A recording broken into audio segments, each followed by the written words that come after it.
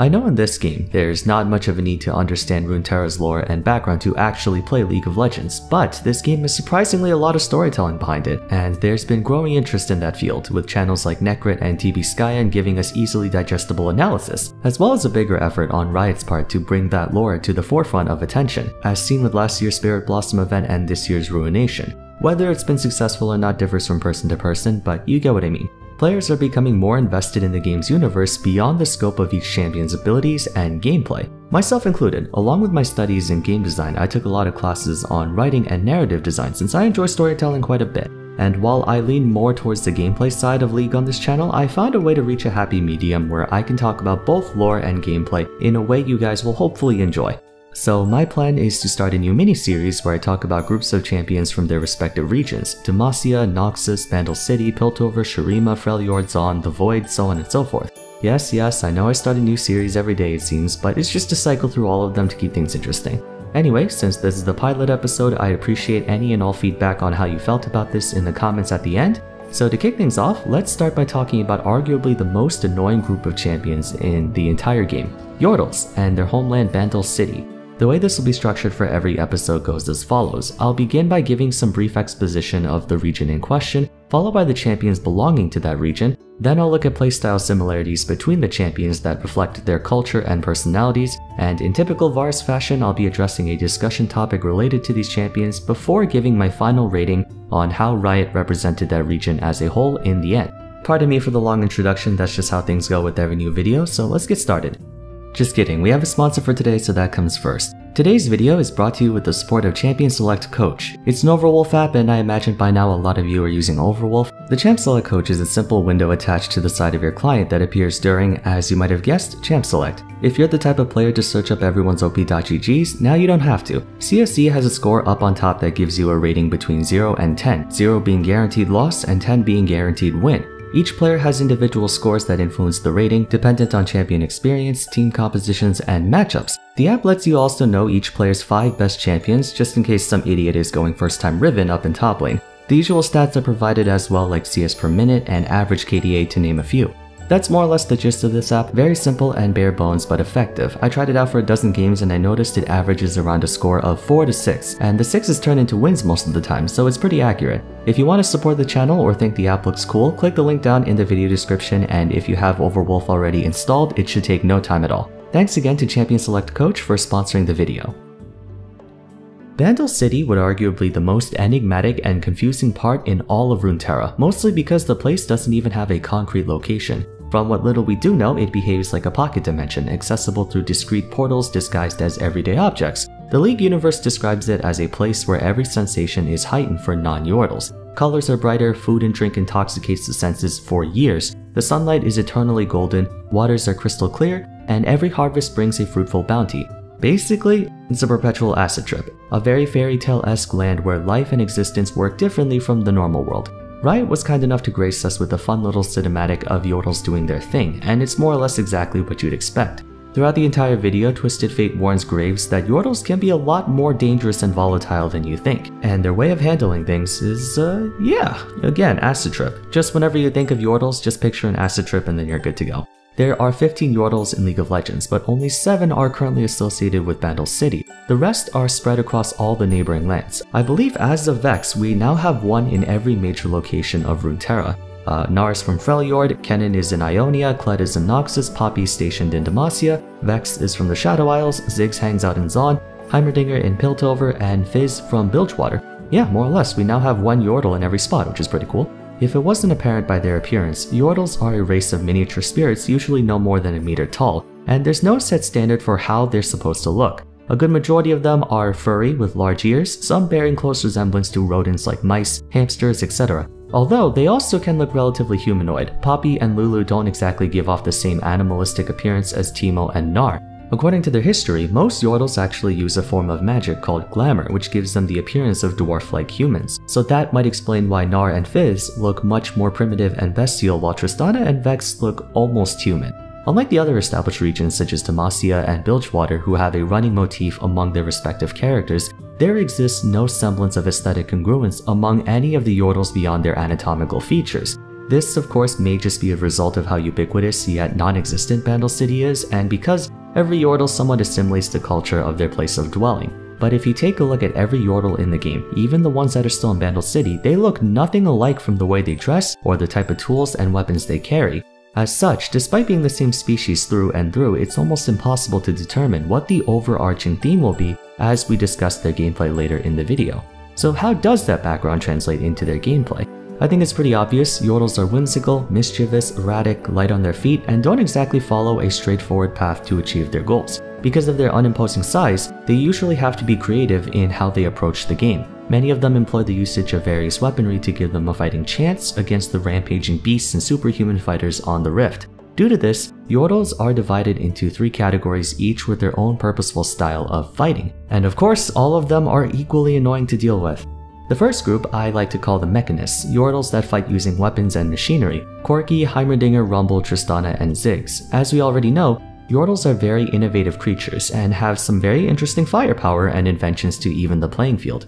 Rumble rides a mech, and Heimerdinger constructs turrets to do all the fighting for him, not to mention the types of weapons they carry too. This is also echoed by Corki and Ziggs. Corki rides a bomber plane while Ziggs is a demolitions expert. Tristana has a cannon that's the size of her, and I don't know how she can carry that thing so easily, but maybe as thin as paper, I'm not sure. The most defining trait of Mechanists is that they all have one super big damaging ability, each with the potential to dish out overwhelming amounts of damage, notably in team fights. Corki's Special Delivery, Ziggs' Mega Inferno Bomb, Rumble's Equalizer, Heimerdinger's Apex Turret. Tristana doesn't have a big boom attack, but you can technically consider her Explosive Charge if everyone is clumped up together because that does a lot of damage. Surprisingly, they all operate very differently from their respective archetypes too. Corki is a marksman who specializes in magic damage and spellcasting for one, or unlike Vel'Koz and Xerath who shoot straightforward laser beams, Ziggs has some wacky mechanics with his bouncing bomb and satchel charge, and unlike other conventional marksmen such as Caitlyn and Jinx, Tristana is one of the few ADCs who actively prefers to dive into a fight. A subtle detail, but it really shows their nonsensical and sometimes devil-may-care attitude towards everything, right down to their personalities. Up next, we have the Tricksters, Yordles who rely on their strange magic and tools to make things really difficult for the enemy team to want to go in.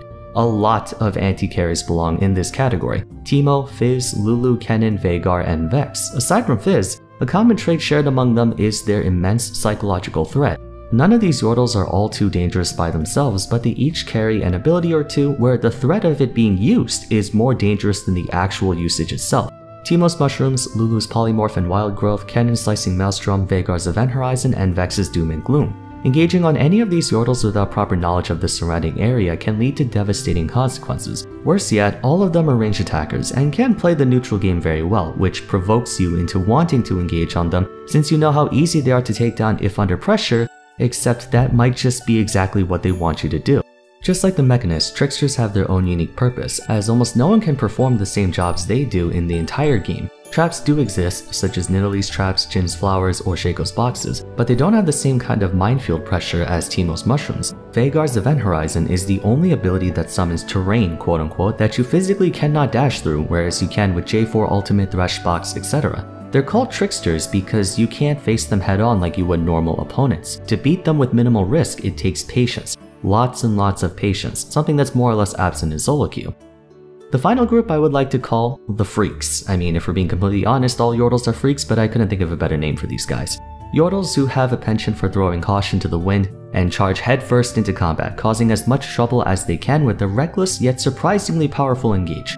Gnar, Kled, and Poppy go in here. There are members of the previous two groups that enjoy going crazy into team fights like Rumble and Fizz, but when it comes to brute force, these three Yordles are the ones to take the cake. Once again, despite their unimposing size, they're pretty dang good at doing a lot of stuff and covering a lot of ground. Now, I understand Gnar turns into a big raging monster when he goes in, but he still is a Yordle. Poppy and Kled players can agree with me when I say that they just want to fight all day, every day. They have below average neutral games, so they're better off in combat, having equally good trade combos than all-ins, not to mention their innate durability making them deceptively hard to take down, they also have their own unique forms of teamfight impact. Gnar's ultimate is notorious for its amazing coverage and long stun duration, Poppy was one of the first anti-mobility champions in the game before we got Vex, and Mr. High Major Commodore of the 1st Legion 3rd Multiplication Double Admiral Artillery Vanguard Company has one job, target the enemy backline and beat the living f out of them, or die trying. This is arguably one of the best aspects of Yordles, They're all part of various subclasses such as vanguards, burst mages, divers, enchanters, assassins, and the like, but the way they accomplish their objective is unlike any of their peers. No enchanter behaves the way Lulu does or has the same tools that she carries. No other assassin has the same kind of bobbing and weaving on target ability as Fizz. They're usually either high speed rushdown like Katarina or stealthy like Evelynn. Adding on to that, there are four Yordles in the Specialist subclass, which attests to their unique playstyles. They're truly the weirdest faction in the game, and they're also the most despised faction in the game. It should come as no surprise Yordles elicit a lot of anger and frustration from other players, no matter what role they play. When Vex was released, she was already a menace to any champion that heavily relied on dashes. Predictably so, if you watch my Vex first impressions video, I'd say I hit the nail right on the head with how people would respond to her. That aside, there isn't a single Yordle in the game who doesn't make people die inside when they see them on the enemy team. The hatred for them has gotten so bad it became comedic, with Teemo being universally recognized as the incarnation of the devil, so even Riot understands that Yordles are quite rage-inducing.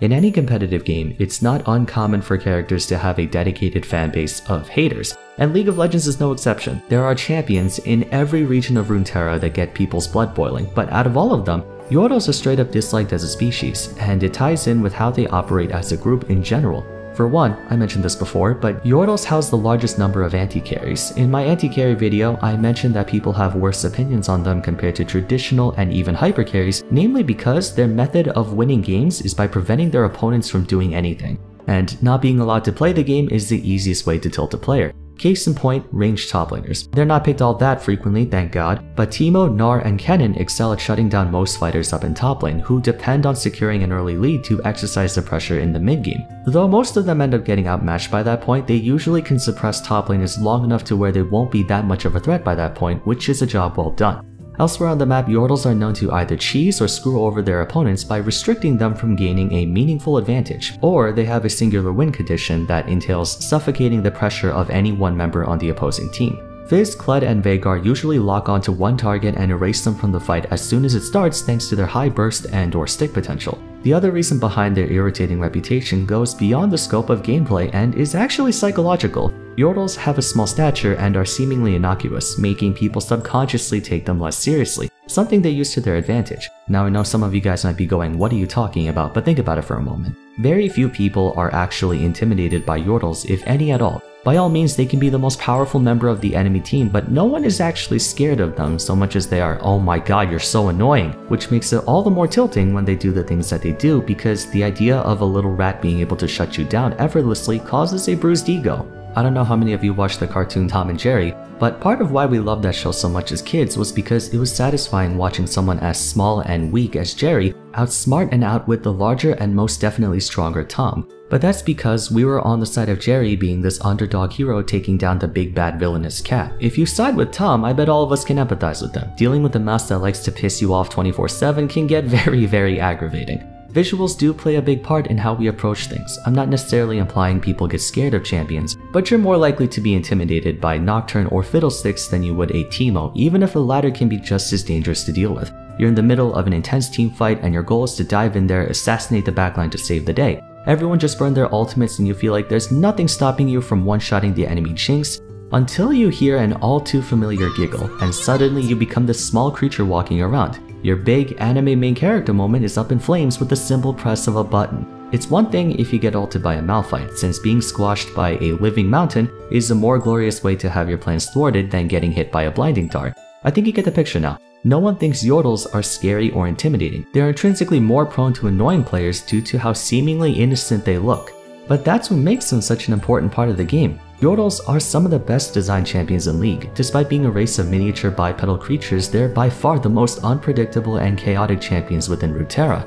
Yet, none of them feel invincible, so to speak. I repeat, Yordles are very strong in their own right, but they don't have that 200 years atmosphere to them. No matter how annoying they are, no matter how crazy or cheesy their abilities are, they aren't unbeatable. As much as I hate going up against Veigar, Lulu, Heimerdinger, Fizz, Ziggs, what have you, I don't really consider them to be at that same level of stupid as the likes of Viego, Yone, and Camille, you know what I mean? Yordles are obnoxious, but there's only so much they can do, and in a way, their unconventional playstyles keep them balanced. When you design a champion around a singular focus, it means that champion will only be good at that focus, they won't have the faculty for anything else. Upon release, Vex was dealing a little too much damage despite being a disruptor, so they hotfixed her by lowering her damage numbers, but that's all you have to do. Yordles are the only race in the game where none of their members are a balanced nightmare. Demacia had Sylas, Noxus had Samira, Ionia had Akali, Bilgewater had Pyke, The Void had Kassadin and Kai'Sa, Shadow Isles had Kalista, Shurima had Azir, etc, etc. But I'm looking at Yordles and I'm like, I don't remember any of these champions being all that much of a hassle to fix. They're pretty chill.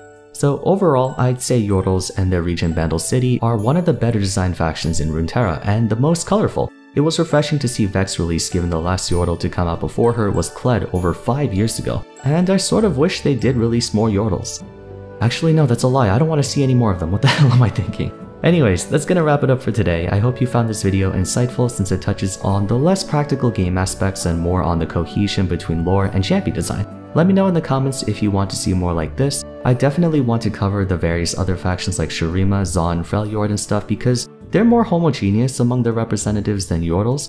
Bandle City is all over the place, including its inhabitants, so in hindsight I probably could have started off with something more simple like Demacia, but that'll probably be the next episode, so stay tuned. For now, if you enjoyed the video, a rating would be much appreciated. Sub to the channel for more content like this. Consider following me on my socials and joining my Discord server, and if you haven't yet, I highly suggest you check out my other discussion videos after this one. But until then, thank you all so much for watching, and I'll see you again soon for the next one. Take care.